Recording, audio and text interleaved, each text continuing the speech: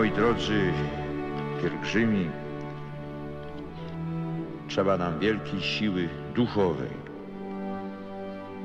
Próba, przez którą przechodzi nasz naród, właściwie na przestrzeni prawie już dwóch wieków, domaga się wielkiego hartu ducha. Ale to, co kosztuje, to i warta.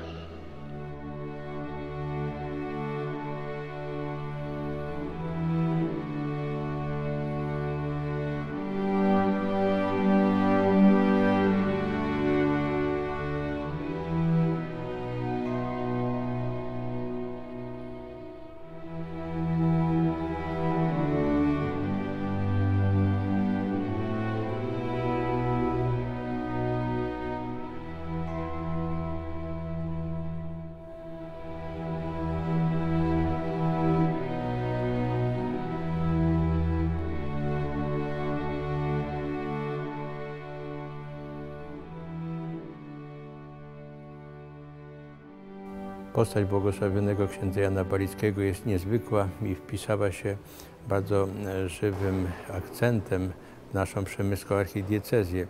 Chciałbym odwołać się do słów e, papieża Jana Pawła II, który wspominał księdza Balickiego jeszcze jako arcybiskup e, krakowski, wskazując na ten niezwykły przykład dla kapłanów.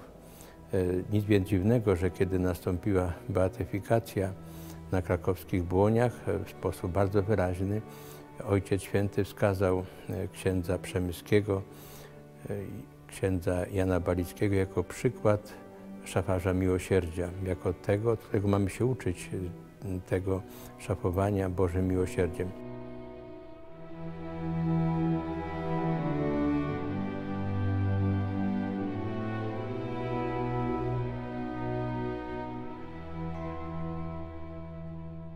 Ksiądz Jan Wojciech Balicki urodził się w 1869 roku e, w budce dróżnika kolejowego e, pod Rzeszowem i tam wychowywał się. Jego ojciec był dróżnikiem, często zmieniali miejsce pobytu, ale e, w tym miejscu byli akurat nie dosyć wystarczająco długo, żeby mm, Jan mógł skończyć tam na miejscu szkołę, a potem uczęszczał do liceum w Rzeszowie. Po zakończeniu tego liceum wstąpił do seminarium duchownego w Przemyślu, gdzie e, otrzymał oświecenia kapłańskie i został skierowany na pierwszą parafię do Polnej koło Rzeszowa. I po posłudze w tej parafii został z kolei skierowany na studia do Rzymu.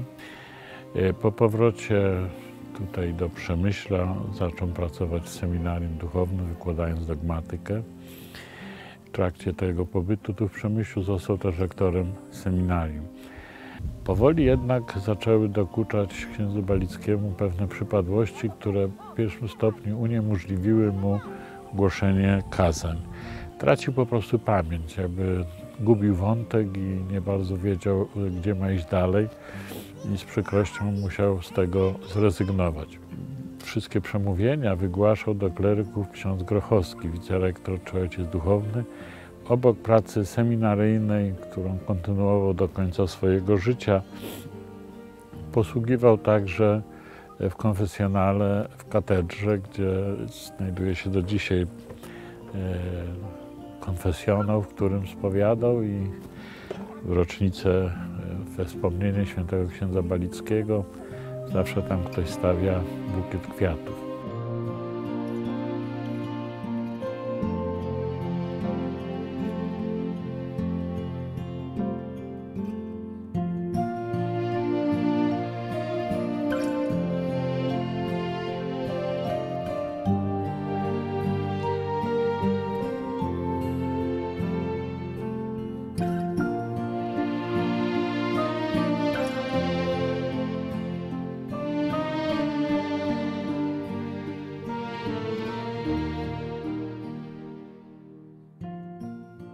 Świadomość grzechu, to bardzo też jest mocno podkreślane u księdza Jana, że muszę się przyznać do mojego grzechu, a później przychodzić do Pana i prosić o przebaczenie, bo tylko Bóg przebacza grzechy. To jest ta droga oczyszczenia na drodze właśnie na tej drodze mojego postępu duchowego, a później zjednoczenie przez modlitwę, sakramenty święte no i taką zażyłość z Panem. Tutaj ksiądz Jan był takim rzeczywiście dzieckiem swojej epoki, czyli wiedział o tym, że wzrost dokonuje się przez praktykę cnót, tych najpierw teologalnych, potem moralnych, ale też i zażyłość z Panem, z Panem na co dzień, bo kiedy będę trzymał się Jezusa, to na pewno na mojej drodze nie pobłądzę.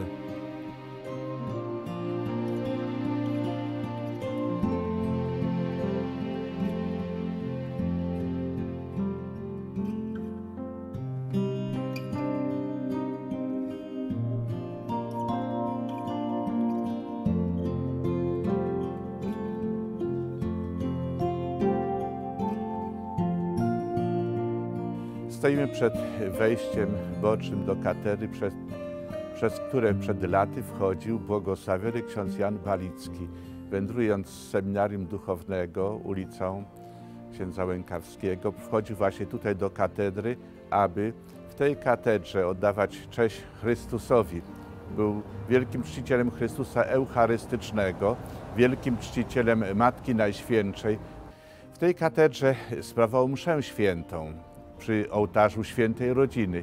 I w tej katedrze również zasłynął jako charyzmatyczny spowiednik w tym konfesjonale, który był blisko ołtarza świętego Jana Chrzciciela, który jest niemym świadkiem jego charyzmatycznej y, posługi, y, pojednania człowieka potrzebującego Bożego miłosierdzia.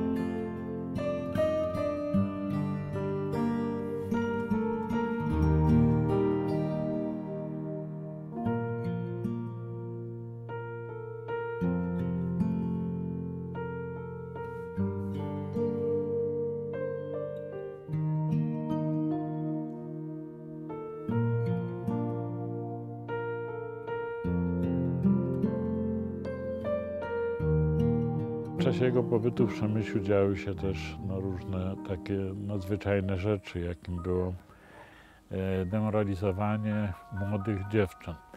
I ksiądz Balicki postanowił wyjść temu naprzeciw. Właśnie tu w Kruchelu zorganizował taki dom, w którym te dziewczyny mogły powrócić do e, jakiejś, no powiedzmy, równowagi duchowej, psychicznej, jak sądzę. Pomagają mu, jak wspomniałem, siostry opatrznościanki. Tu jednej z nich grób jest. I jest też e, grób, którego nie odnalazłem, e, ale jest tu taki grób młodej dziewczyny, właśnie jednej z podopiecznych księdza Balickiego, która tutaj w na Kruchelu, w tym domu złożyła em, ofiarę ze swojego życia. I ona, tak podają świadkowie, któregoś dnia postanowiła porozmawiać z księdzem Balickim, powiedziała, że ona nie czuje się na siłach, żeby się oprzeć temu naporowi tych, prawda, mm, e, zachodów, tych podrywań i boi się, że wróci do tego swojego dawnego życia i ona chciałaby złożyć ofiarę z życia. Rzeczywiście mm, nie znamy tej, tej jak, przypuszczam, że ksiądz Balicki się zgodził, bo Gienia, tak miała na imię, zmarła trzy dni po tej swojej decyzji. Ksiądz Balicki przywołuje nam, do, przywołuje nam świadomość taką biblijną, że jesteśmy dziećmi Bożymi. Jeżeli jestem dzieckiem Bożym, to że powinien mieć zaufanie do Pana Boga, a potem to dzieciństwo w sobie też rozwijać. I kiedy mam zaufanie do Pana Boga, to będę mógł potem też pójść tą drogą, którą On mi wskazuje, bo wiem, że Bóg chce mojego dobra. Jeśli, jeśli to odkryję, to staram się wtedy odpowiadać nawet na wymagania, które mi stawia, tak jak stawia wymagania ojciec w rodzinie czy mama, ale po to, żeby nauczyć mnie takich dróg mądrości. I stąd pamiętam takie piękne porównanie księdza Jana, kiedy mówi, że właśnie Bóg jest jak ojciec. My możemy właśnie objąć Go za szyję, przytulić się z wielką miłością. Jeśli ja o tym wiem, to później będę też odpowiadał na miłość Pana Boga, który tak wieloma darami mnie obdarzył i będę starał się realizować powołanie do świętości.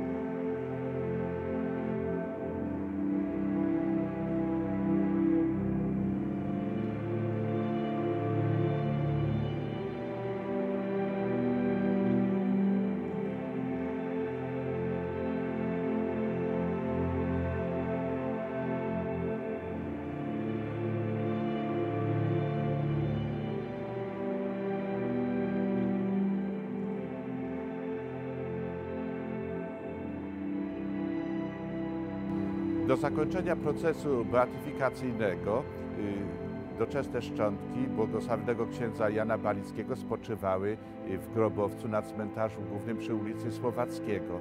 Tam, gdzie przez wiele, wiele lat wierni y, przychodzili prosząc o jego orędownictwo. Przy tym grobie paliły się wciąż lampki, świece. To był znak wiary w jego orędownictwo. Tam były składane prośby w postaci różnych karteczek wkładane w szczeliny, a później w taką skarbonkę, skrzyneczkę, yy, z której były wybierane, były przekazywane do seminarium i do kurii biskupiej. Kiedy zakończył się proces yy, beatyfikacyjny, według procedury zostały yy, szczątki doczesne wyciągnięte z grobowca i były właśnie przygotowane do tej mszy świętej beatyfikacyjnej, która miała miejsce 18 sierpnia 2002 roku na Błoniach Krakowskich, kiedy święty Jan Paweł II wyniósł na ołtarze. Od tego momentu relikwie błogosławionego księdza Jana Balickiego zostały uroczyście przeniesione do naszej katedry, gdzie y, spoczęły w antypedium ołtarza świętego Stanisława Szczepanowskiego i tu po dzień dzisiejszy y, błogosławiony ksiądz Jan spoczywa w, i tu odbiera cześć należną. Do tej relikwii przychodzą wierni, prosząc o jego orędownictwo, tak jak przez wszystkie lata. Był uważany za y, świętego za życia, co Kościół święty potwierdził aktem beatyfikacji.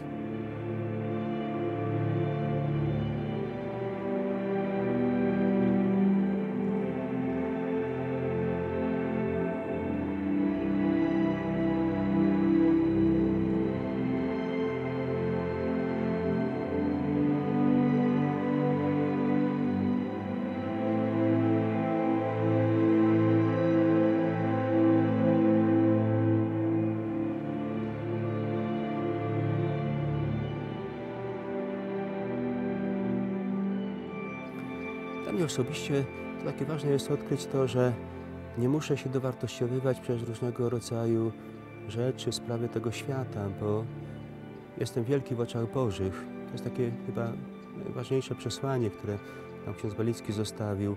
Nie to, że będą o mnie mówić w telewizji, będą mnie gloryfikować, chwalić, bo wiem, że najważniejsze jest to, żeby odkryć, że w oczach Bożym jest, jestem naprawdę kimś wielkim i dlatego nie potrzebuję jakiegoś takiego, takiego oklasku ze strony innych ludzi, bo Pan mnie przygarnia takim, jakim jestem i później daje mi siły, żeby też godnie iść przez życie. To, co robimy w danym momencie, w danej chwili, jeśli to czynimy z miłością i zaangażowaniem serca, to na pewno Panu Bogu się podoba. Czyli odkryć swoje miejsce, potem uwielbiać Pana Boga przez codzienność, swoim życiem, swoim postępowaniem i będziemy potem pokazywać też drogę innym tego spotkania z Jezusem. Takim uniwersalnym e, przesłaniem jest jego taka dziecięca postawa wobec Pana Boga i to e, trwanie w duchu takiej pokory, to zawołanie, to jego motto życiowe mówiące o tym, że drogą do, do spotkania z Panem Bogiem jest pokora, jest też na dzisiejszy czas, żebyśmy nie ulegali e, pysze, żebyśmy nie ulegali takiemu zadufaniu w sobie, samym sobie, ale żebyśmy byli nastawieni na realizację swojego powołania, Bożego planu, który Pan Bóg dla nas przewidział.